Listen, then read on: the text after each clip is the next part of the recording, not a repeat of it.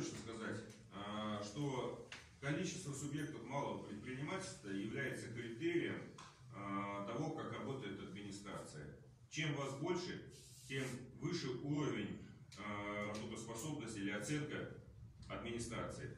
Поэтому сегодня ну, администрация, мне кажется,